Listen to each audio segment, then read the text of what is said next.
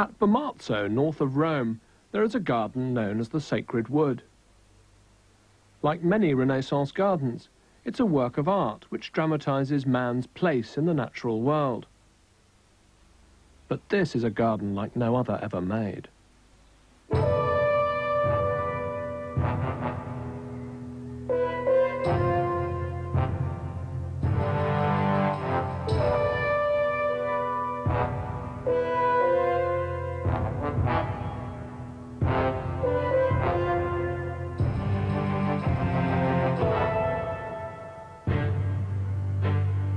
Salvador Dali was fascinated by its dream monsters and strange texts. But it's more than a piece of surrealism ahead of its time.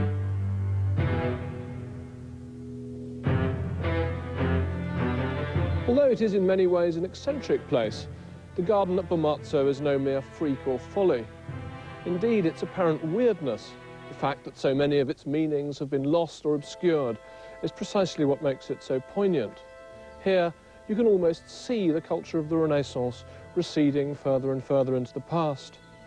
I can't think of a better place than this to begin to try to understand what happened to Renaissance civilization during the course of the 16th century, as it changed and developed and took on a multitude of new forms.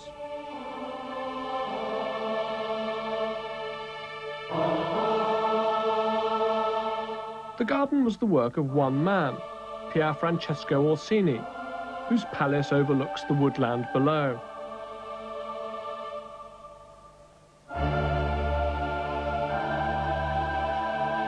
In this green theatre, a succession of strange shows unfolds, ingenuity and grotesquerie battling it out.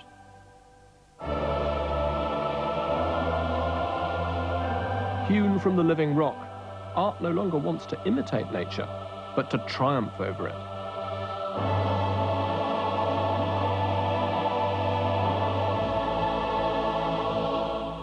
An almost oppressive wit and ingenuity are written into Bomarzo's very stones. You who enter here, tell me whether so many marvels were made for deceit or only for art.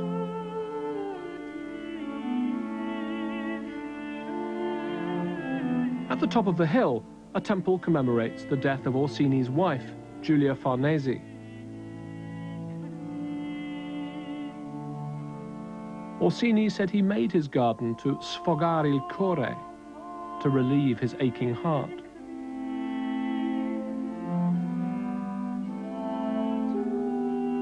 But from the seed of private sorrow, something larger was to grow. A meditation on the frailty of all human hopes and of all civilizations.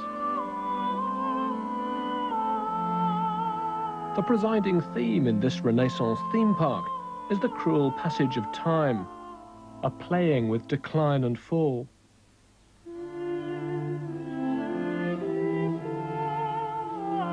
The disturbing angle of the leaning house gives an eccentric framing to the rest of the garden, suggesting things going awry and askew. This miniature Tower of Babel, built to look as if it's falling down, is an apt emblem of late Renaissance civilization itself, in love with its own artfulness and wit, but increasingly aware of the possibility of its own passing.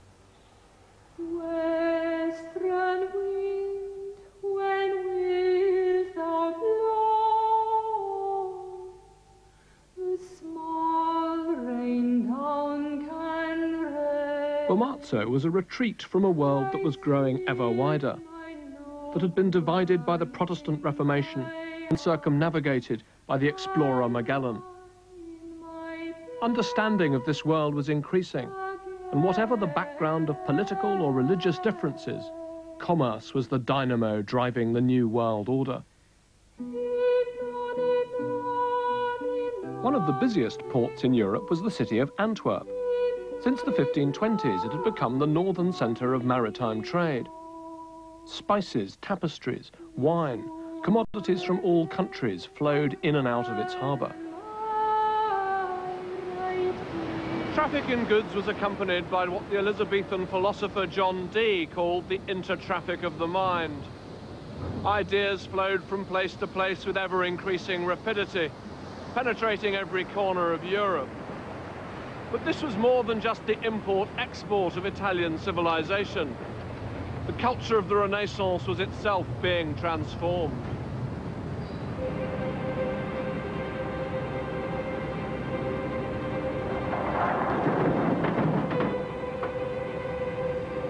Nowhere is this more obvious than Antwerp's splendid 16th century town hall. A typical Flemish building has been embroidered with a multitude of classical details. The inscription SPQA equates the city with Republican Rome. Side by side with a traditional hipped roof, this is Antwerp's way of saying that it knows all about the Renaissance and is part of it. But another, more influential republic also had its centre in this city, a republic of letters.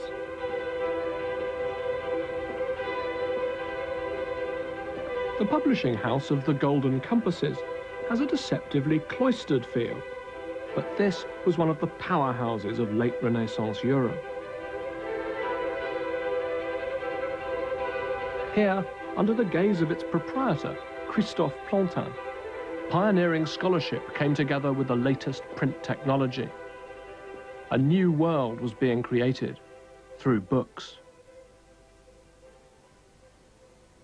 The humanist intellectual elite who gathered here included physicians, moralists, and also Abraham Ortelius, the cartographer who compiled the first modern atlas. Ortelius's book was called the Theatrum Orbis Terrarum. Its title seems to acknowledge the spectacular way the world was opening up before men's eyes. This portable guide to the globe was a much republished bestseller. This was knowledge the market wanted.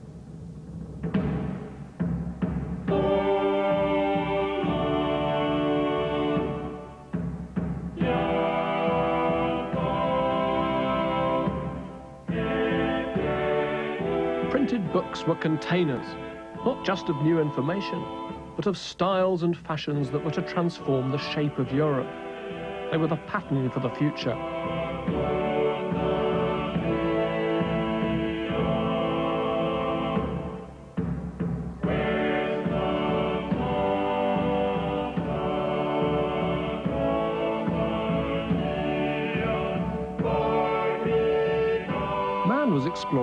World that lay within himself too. In Plantin's edition of the work of the Flemish anatomist Andreas Vesalius, the figures demonstrate what a thoroughly Renaissance enterprise this is. Being flayed is no excuse not to strike an elegant pose. Variations on classical sculpture, with or without Roman armour, are used to display the inner workings of the human body. This is the Renaissance unmaking itself. Investigations like these were opening the way for a new age of experimental science, and the presses never stopped.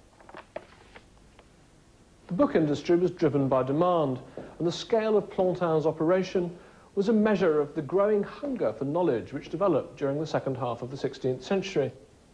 Plantin produced nearly 2,000 separate publications on these printing presses, and he sold them not only in the Low Countries, but all over Europe.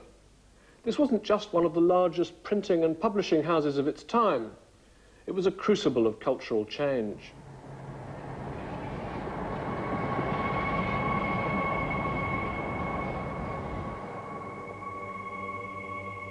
I can't help thinking just how far we've travelled since this journey through the Renaissance began. Going back just over a hundred years to a work of art such as Jan van Eyck's altarpiece of the Mystic Lamb is like entering another universe. It's a vision of divine majesty, expressed in glittering surfaces, held in perfect balance.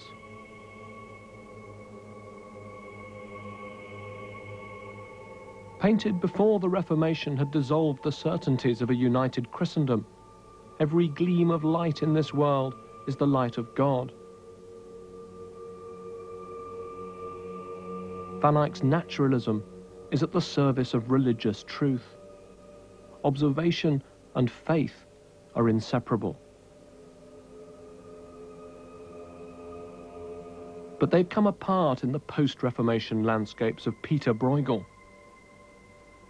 Working in the same tradition of northern oil painting as Van Eyck, Bruegel's another great observer. But God's presence isn't so easy to discern in the hunters in the snow, where the labours and pleasures of man are shown in a kind of cosmic balance with indifferent nature. It's full of vivid snapshots of life. An old woman carrying sticks, a little girl warming herself at a bonfire. Bruegel's art doesn't betray a lack of religious belief, but it suggests that faith will have to be worked at. We have to find God. He won't come looking for us.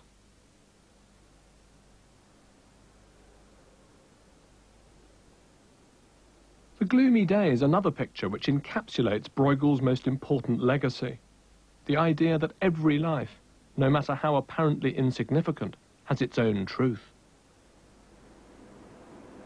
Bruegel seems so absorbed by the world he's depicting that it's as if he's gone beyond moral judgment. This is a completely unsentimental observation of the way life is. The artist has helped us almost to feel, as well as to see the nature of a peasant's existence to experience the bitter cold and freezing winds suffered by people as they scratch out a living on the land. Bruegel, like his friend Ortelius, the mapmaker, was a great broadener of human horizons. The Northern Renaissance was opening up a series of world views, too multifarious to be limited within the word Renaissance.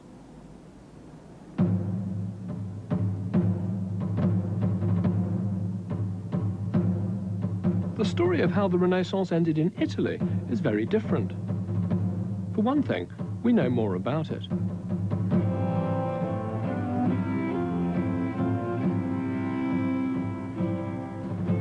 This time capsule of a house in Arezzo belonged to the man who first coined the term Renaissance, writing its history just as it was beginning to unravel. Giorgio Vasari was a painter and architect but he's most famous as the author of The Lives of the Artists, in which he set forth a grand view of the ascent of man.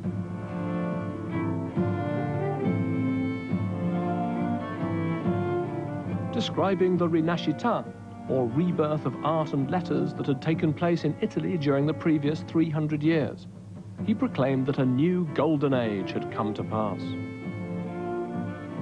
The very walls of his house claim that he is a man who's lived through the revival of an antique past. He wants us to see that he is literally at home with the ancients.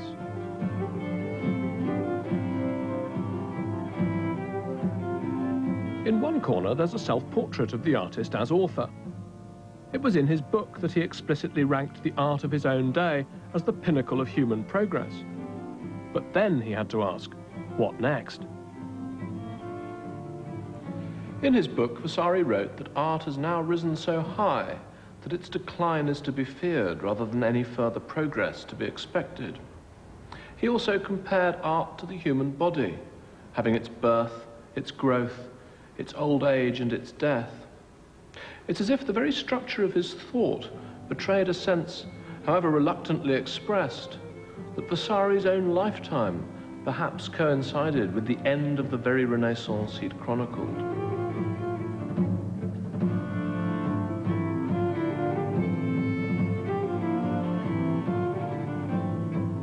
Vasari believed that his golden age of art could live on forever, but only if everyone followed the example of a great genius. And there's no doubt that for him, that man was Michelangelo.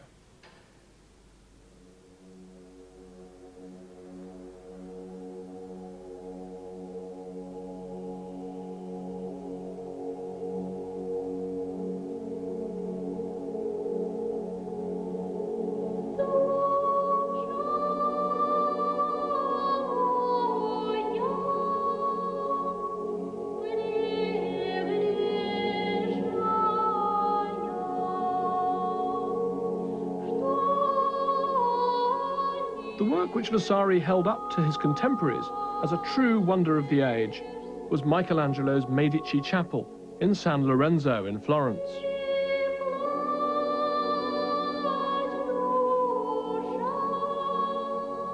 Nothing in this space is inert. Every architectural detail has been fashioned with high artifice. The Medici's mortuary chapel has become a vivid theatre.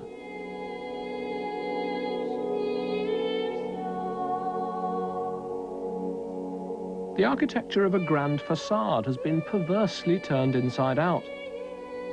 And as always, Michelangelo has placed the human body centre stage.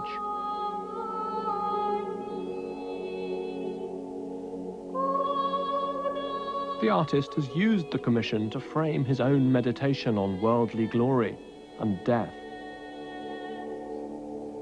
The idealized portraits of the Medici are upstaged by beautiful figures on the sarcophagi that represent the times of day.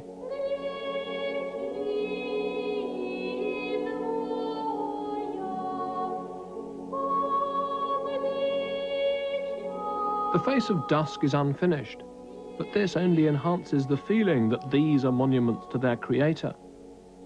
We sense the presence of what might have been.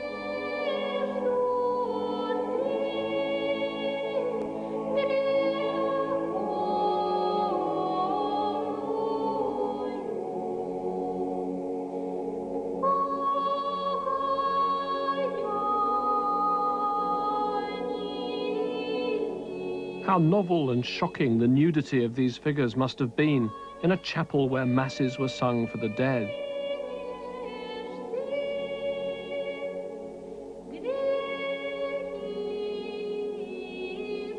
Michelangelo was a hard act to follow, and while he was an inspiration to many, you could also argue that his influence drove Renaissance art off the rails.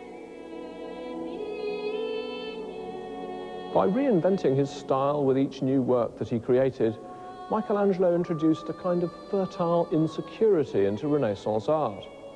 Many of those who came after him felt that they had to be original, a heavy burden which is still being carried by artists today.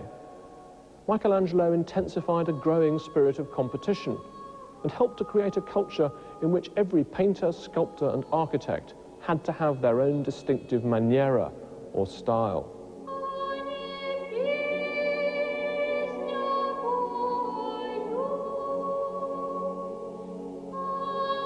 The late 1520s, while this was still a work in progress, the Medici were deposed and Florence was gripped by religious fervour. When the Angelus bell rang, every citizen had, by law, to genuflect and recite a prayer.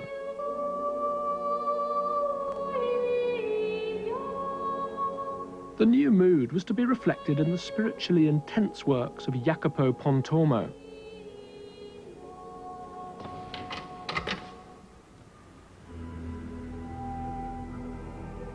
For three years, Pontormo shut himself away in the church of Santa Felicita. When his painting was finally revealed, it seemed to cross the line into a new world, where the rules of perspective have been abandoned for the sake of emotion.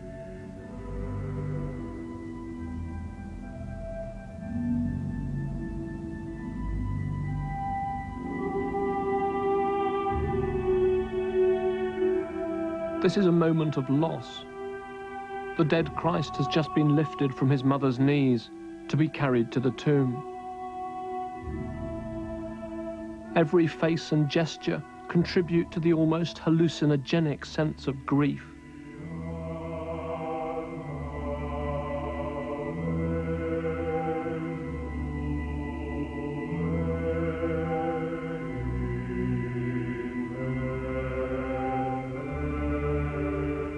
It's a painting heavy with the weight of responsibility. And to communicate his own sense of guilt for Christ's death, Pontormo has included his self-portrait, Mea culpa.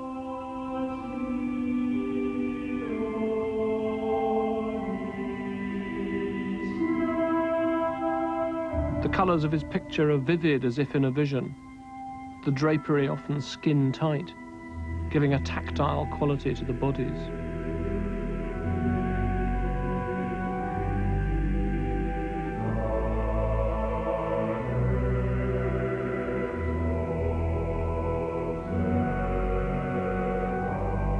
It's a picture about wanting to touch, to bring back the dead, to kiss blue lips back into life.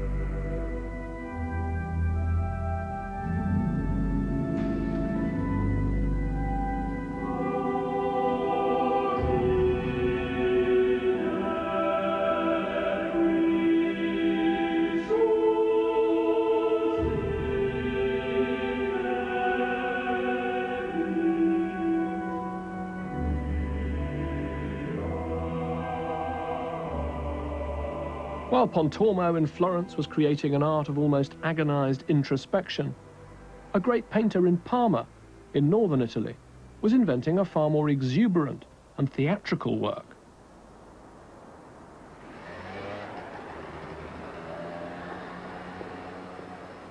Correggio drew on many local traditions, including the illusionism pioneered by Mantegna and the effects of light and colour explored by artists in Venice. All this was to be synthesized in a great masterpiece for the cathedral, designed to sweep the audience off its feet.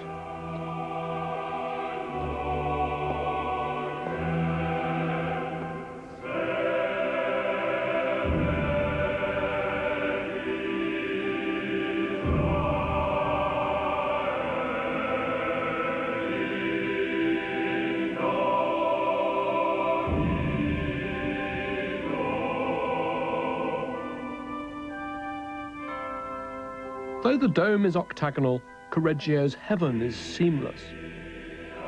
His subject is joy, expressed by a spiraling perspective. Like a tornado, a twister, it whirls us into the exhilarating ether of paradise itself.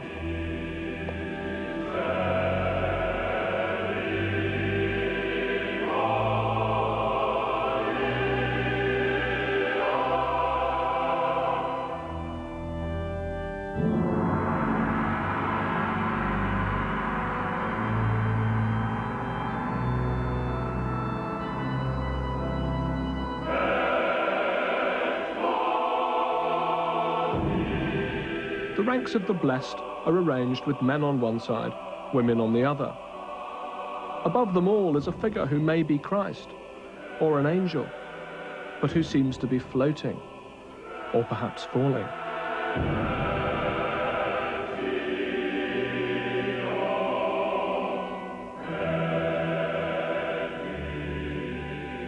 The originality of Correggio's work disconcerted some people. The story goes that one of the canons of the cathedral compared it to a stew of frog's legs. But the great Venetian painter Titian came to Correggio's rescue, saying that the artist's reward for creating such a masterpiece should have been enough gold coins to fill the dome itself. Personally, I'm with Titian on that one. Correggio was a hundred years ahead of his time. He invented the theatricality of the Baroque he also anticipated its rapturous sensuality.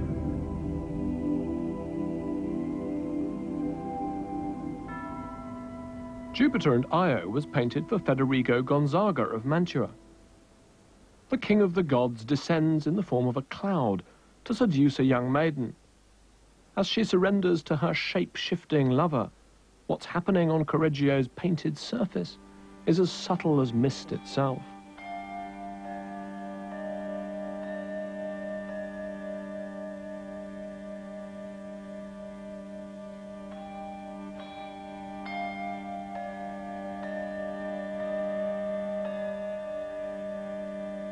In Mantua, Correggio's patron, Federigo, yearned to escape from the prison-like atmosphere of the Gonzaga's ducal court.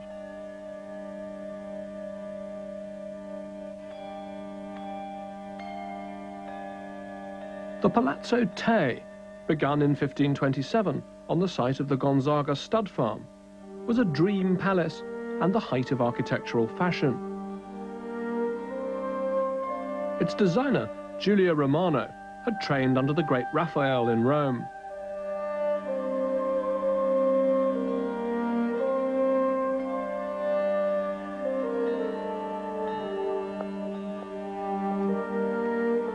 On an unpromisingly flat site, He created a spectacular work of courtly art, with pleasure as its principle. The palace changes aspect as you walk through it, offering a succession of unfolding views.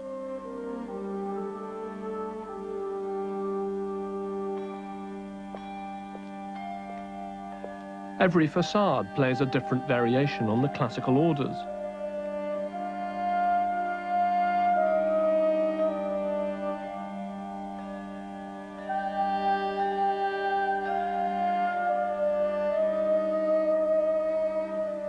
Every detail plays a role in this theatre of surprise. Blocks from the frieze have apparently slipped out of place, while keystones are lifted out of line this is a building confident enough to pretend its own collapse.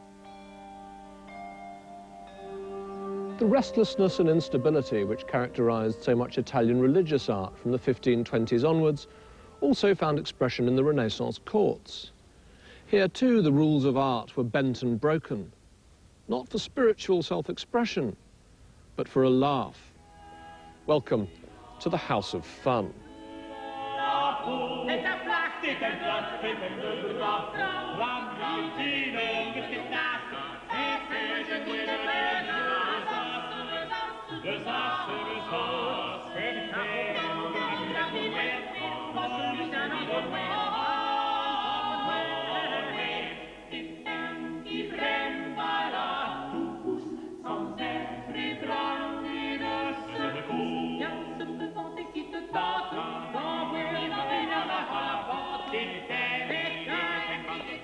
The inside of the palace is equally dedicated to variety, a succession of painted rooms to amuse the patron and satisfy his vanity, while pulling a few cunning stunts for the spectator.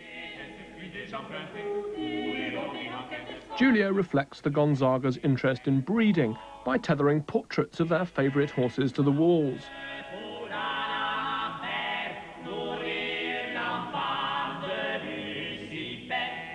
And the pursuit of pleasure accelerates as you move through the palace.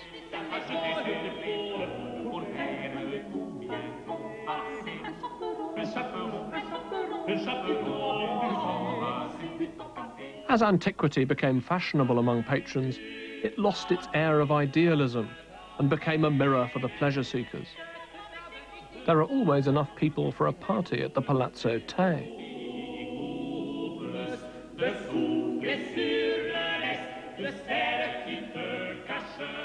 Paintings allude to Federigo's amorous pursuit of Isabella Boschetti, an illicit affair which can only have been inflamed by Giulio's hardcore mythologies.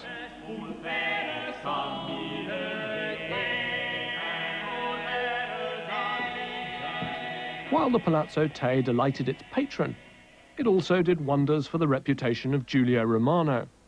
He's the only Renaissance artist mentioned by Shakespeare.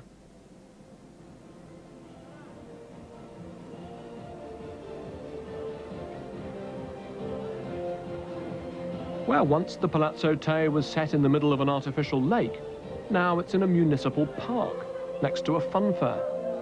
I think there's a kind of poetic justice about the juxtaposition.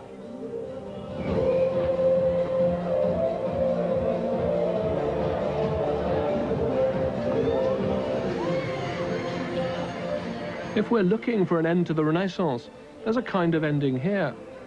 Or at least a change after which things would never be the same again. After all, the fairground's just a democratized, low-culture version of the Palazzo Te. Here it's images for all, not just a few. But there's much the same combination of vulgarity, mock piety, and whirligig excitement that Giulio Romano provided half a millennium ago. The image-hungry, channel-hopping sensibility of modern times was, like so much else in our world, made in the Renaissance.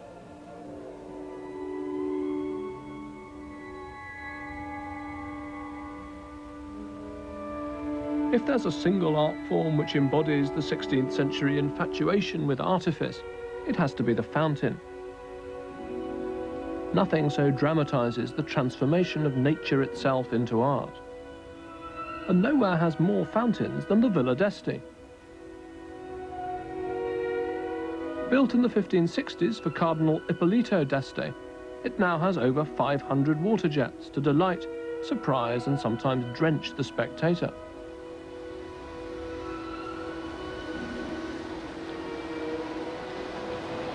The fountain is a symbol of inexhaustible creativity. It's a work of art which is endlessly fascinating because it's constantly altering its shape. This garden is a fitting monument to a culture which was in love with variety and fascinated by change and metamorphosis.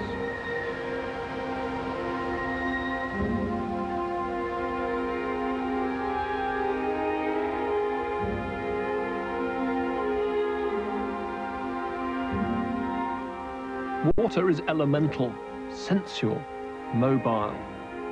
Here the pleasure palace has overflowed its bounds, and it feels as though the world itself has turned into a work of art.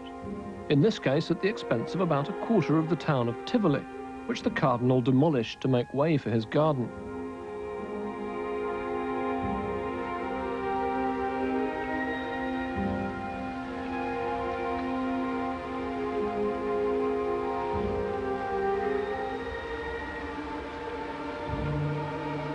Fountains also symbolized a flowing continuity with the classical past, the source of inspiration.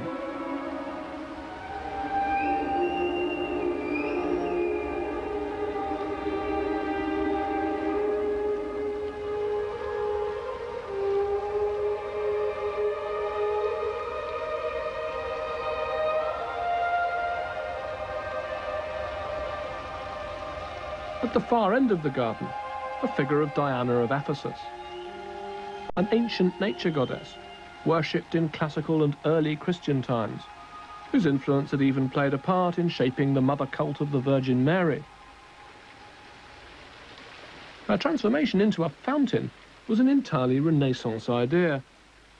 It typifies a growing determination to explore the more exotic tributaries of the antique past.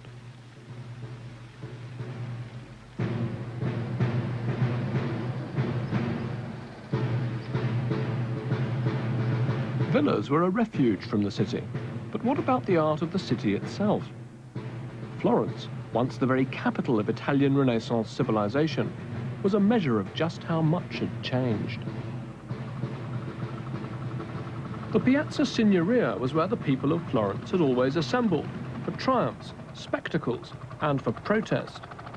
Even today, they bring their demonstrations against the common agricultural policy here. This was the heart of a Republican Florence, which had, at least intermittently, resisted rule by a single autocrat.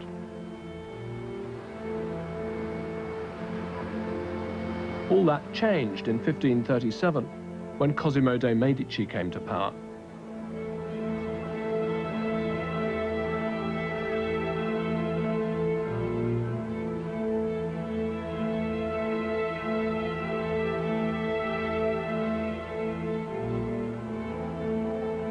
He turned Florence from a republic into an autocracy, and the Medici from bankers into princes.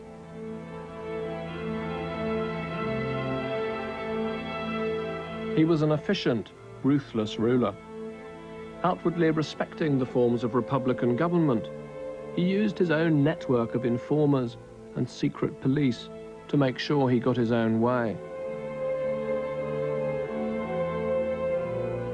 In taking a state, wrote Machiavelli in The Prince, the conqueror must commit all his cruelties at once, so as not to have to repeat them every day. For the first fortnight of his reign, there were four public executions a day in this square. Florence now had a prince who knew his Machiavelli.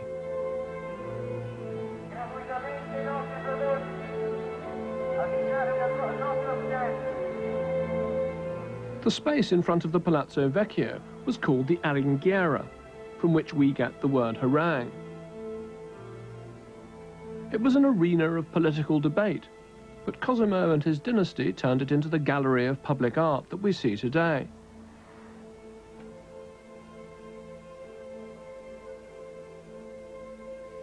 Inside the Palazzo Vecchio, Giorgio Vasari was given the project of transforming the former republic's seat of government into the residence of an autocrat.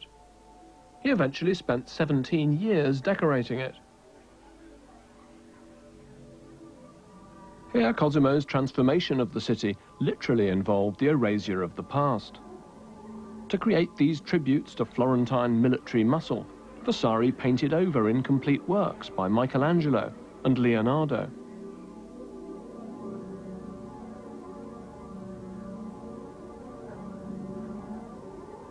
Vasari himself was unstinting in praise of his own work. I venture to assert that I had occasion to paint everything that the human mind and imagination can envisage.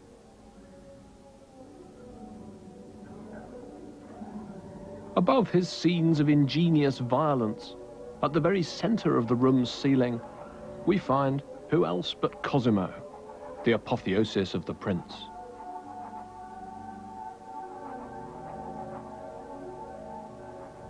Cosimo de' Medici the man who never gave audiences to the people of Florence, certainly gave them a lot of art. Art to entertain them, art to stun them, but above all, art to remind them that he, Cosimo, was the boss. But I can't help feeling that something went missing from the spirit of Florence during his reign. It's as if, despite the richness of all that he commissioned, something died here.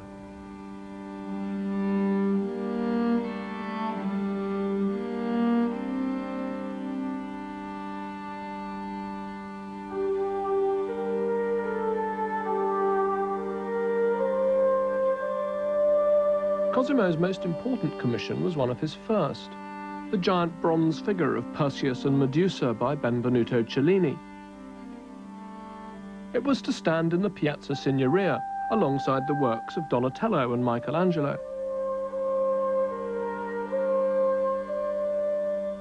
But whereas earlier sculptors had provided role models for the citizens, this is a work designed to subdue and to subjugate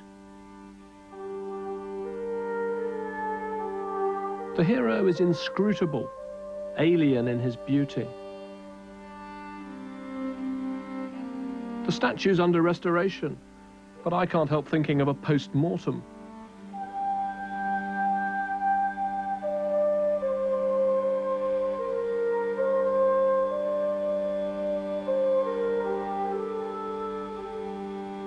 Cellini described the drama of its casting as a tale of triumph in adversity. Difficulty overcome, grace, ingenuity. These were the qualities most prized at the time, and Cellini delivered them all.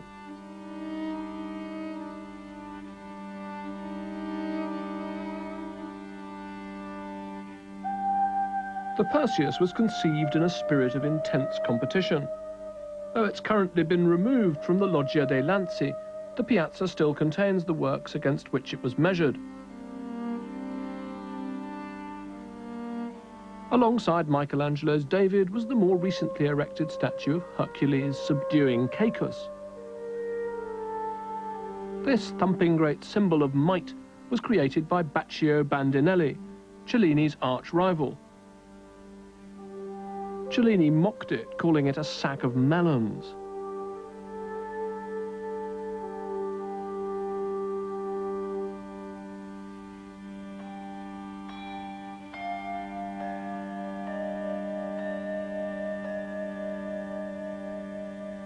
For Cellini was about winning.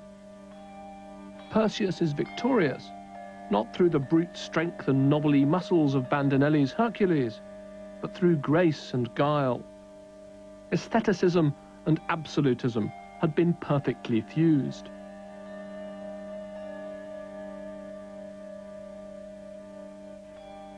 Cellini started his career as a goldsmith and made the Perseus only after returning from another court where he created what has to be my desert island object of the period. It's a salt cellar for Francis I, the King of France. Yes, it really is a salt cellar. Peppercorns in an ionic temple next to the goddess Earth. And opposite, salt in a boat beside a reclining Neptune. The whole thing rolled on concealed casters, and the king, of course, loved it. According to Cellini himself, the King of France said that his work not only equalled, but surpassed that of the ancients. Like many of Cellini's anecdotes, that probably needs to be taken with a pinch of salt.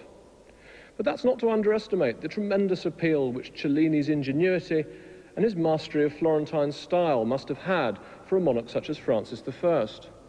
A vogue for Italian Renaissance art and artifacts was sweeping through the courts of Europe. This was an object of high fashion, the 16th century equivalent of a Fabergé egg or a solid gold Gianni Versace watch.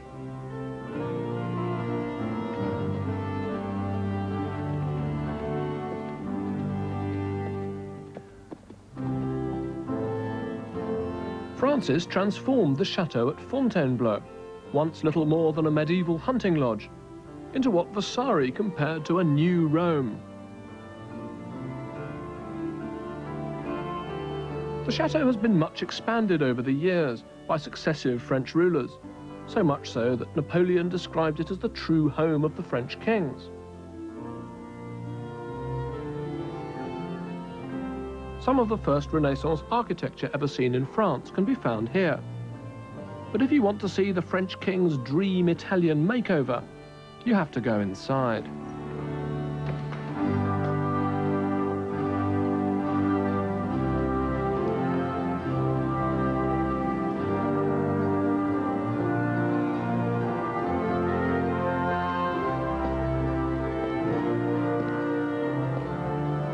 Gallery of Francis I was decorated by Rosso Fiorentino, whose works are complemented by extravagant stucco surrounds.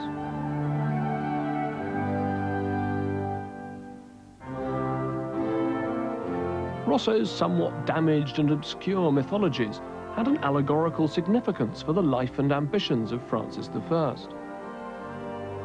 In one painting, Francis is depicted in Roman dress, perhaps to identify him with Caesar, who unified Gaul. With the rapt attention of his onlookers, he's probably explaining the significance of the object in his hand. It's a pomegranate, which, made up of many seeds, is a symbol of the state, the elements of which are brought together in the person of the king. All of which is obliquely reinforced by the stucco work, which has pomegranates prominent amongst its abundant fruit and veg. Nature too obeys the king. The whole gallery is an enigma, a space appropriate to a man who kept the Mona Lisa beside his bed.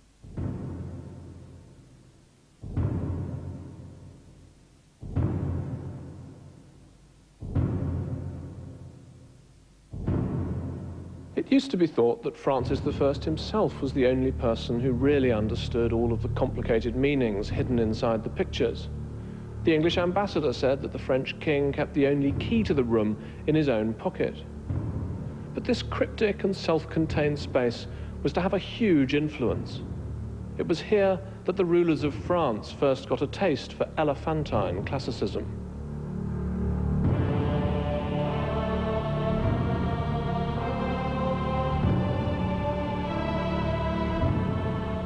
The style introduced at Fontainebleau was used throughout France to bolster an emerging sense of national identity.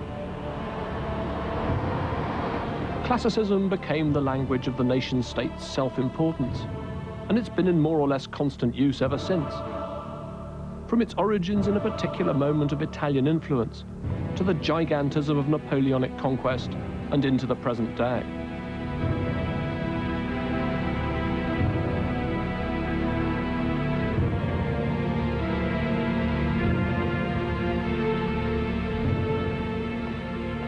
Louvre is the largest palace in Western Europe.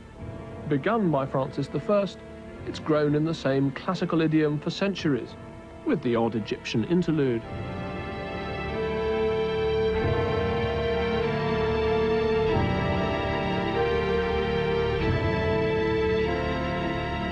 With its acres of impersonal Franco-Italianate piazza, this building doesn't represent the revival of the classical past. Here, antiquity's been appropriated, turned into a trophy.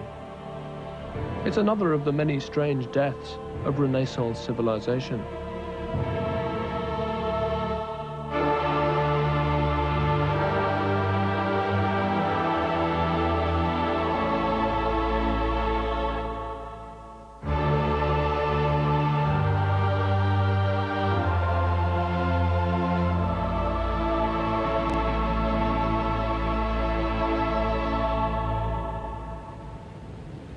The dissolution of classical art and literature into the bloodstream of Europe was anything but straightforward.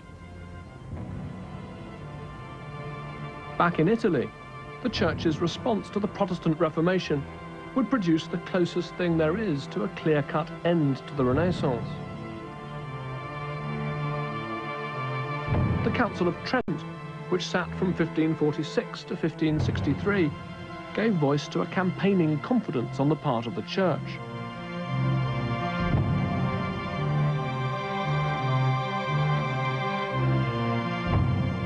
It revived the Inquisition and created a climate of censorship and control.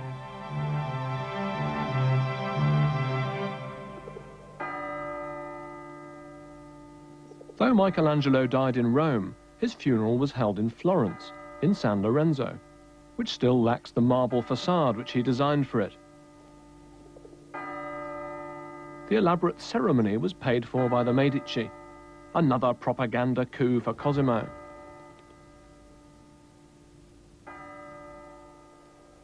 A year later, in the same church, Agnolo Bronzino painted one of the more disturbing pictures of the 16th century a virtuoso display of the negative side of Michelangelo's legacy. Its subject is the gruesome martyrdom of St. Lawrence. Bronzino, who had been court painter to the Medici, has contrived to turn the scene into an elegant academy of poses. An example of the cult of variety transposed to religious painting to which the Counter-Reformation was implacably opposed. And in this case, you can see that point.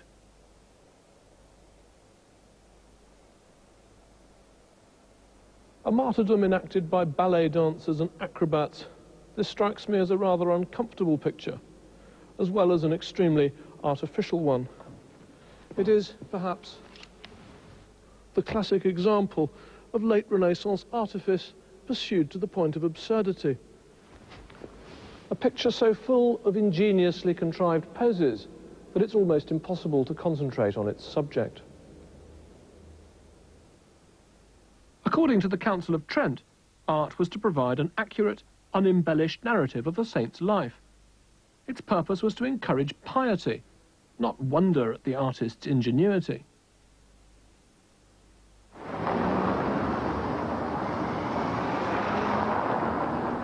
If we want to see the kind of art the church had in mind, we have to go to Rome.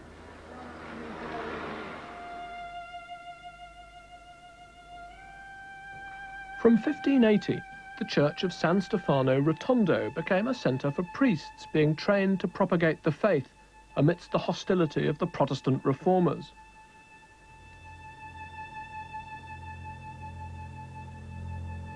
On the walls is a fresco cycle of 31 scenes of martyrdom.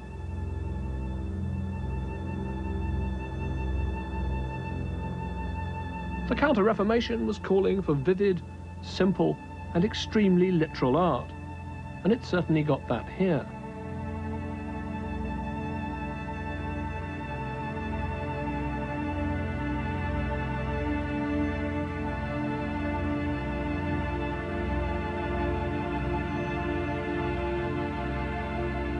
The paintings were raw material to help priests meditate on saintly martyrdom and its lessons. As such, issues of aesthetics were of minimal importance.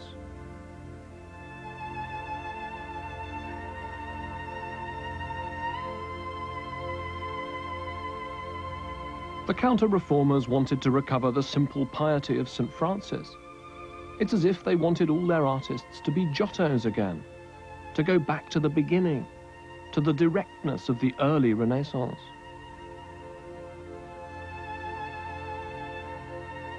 You can't turn the clock back, and I think that this attempt to return to the very beginnings of the Renaissance really marked its end.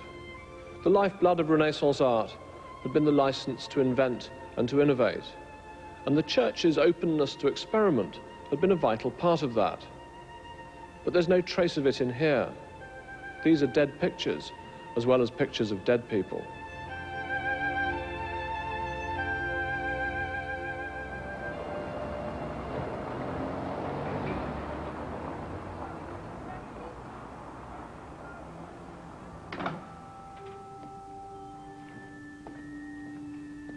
The Counter-Reformation dream of going back to basics was doomed from the outset.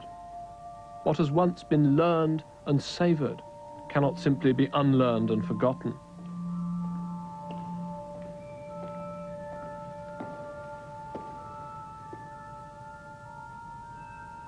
It wouldn't be long before artists working for the Catholic Church armed themselves once more with all the many seductive devices, the erotic, the theatrical, the virtuoso, with which Renaissance culture had furnished them.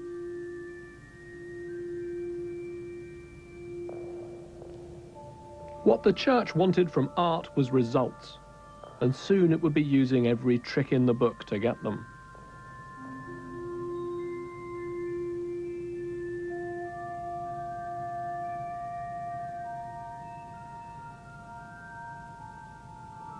Bernini's Blessed Ludovica Albertoni is 17th century. We call it Baroque. But it could never have come into being without the Renaissance.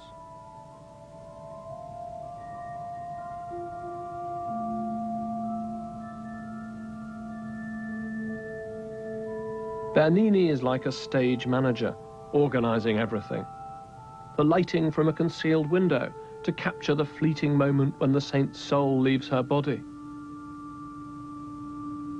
the fluid drapery, possessed by an almost erotic energy of its own. This is truly the art of transformation.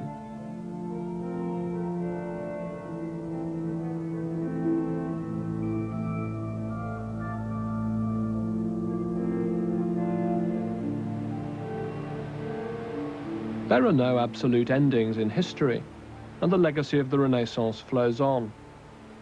Petrarch's great invention was the metaphor of the rebirth of a radiant classical past, which can speak to us and in which we can see ourselves. Successive ages discovered that it could be used to dignify any individual as a Caesar or Cicero, dress up any ideology in the pure white toga of virtue. The French Revolution, the American Revolution, the 19th century English public school, the examples seem endless, yet they all found something they were looking for in the trappings of an antique past.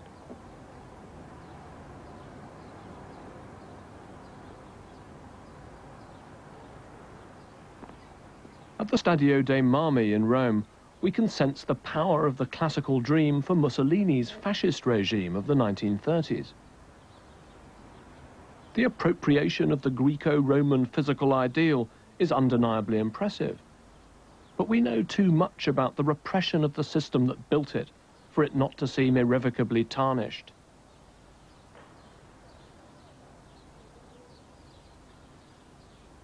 Even so, haven't we been here before? Isn't there something of the spirit of Michelangelo's David, of Cosimo's Florence shared by these figures, which now seem comically butch, borderline kitsch?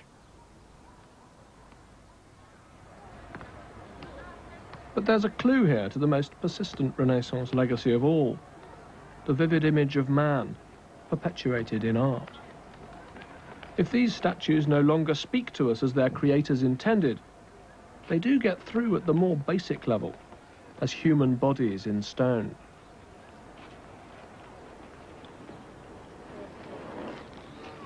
Most 20th century art has been dominated by an antagonism to Renaissance forms. The Italian futurists got the ball rolling by threatening to blow up the Uffizi. In a world where a pile of bricks earns a place in an art gallery, the Renaissance may seem well and truly dead and buried. And yet...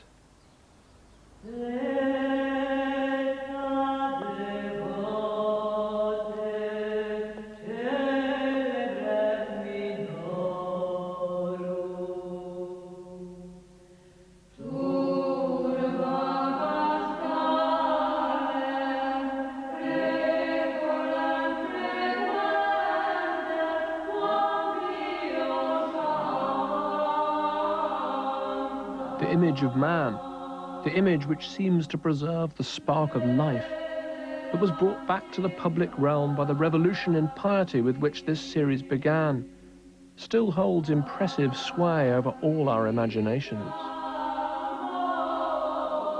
The camera is a mechanized way of creating Renaissance perspectives. And what cinema but a fresco cycle at 24 frames per second? The Renaissance retaught us to desire images of living reality. And by the time of Shakespeare and Bruegel, it also taught us something new about the human consciousness we were looking for there.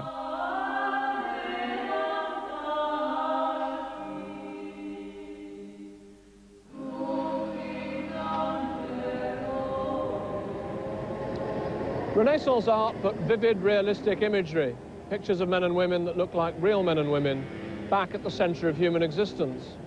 That imagery may have been endlessly transformed during the course of subsequent centuries, but the fact is that it's still there. Everywhere you look in modern life, you're confronted by representations of the human face and form.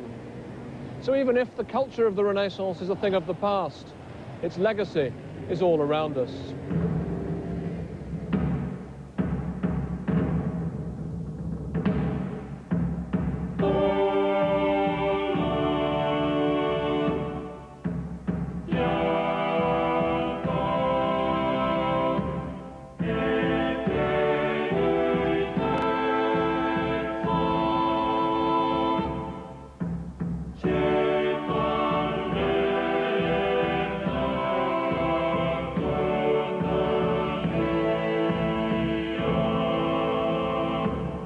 We hope you've enjoyed Renaissance. In a moment, to look at remembering Jacqueline du Pré for next week. Then stay with us as Compass profiles Archbishop Desmond Tutu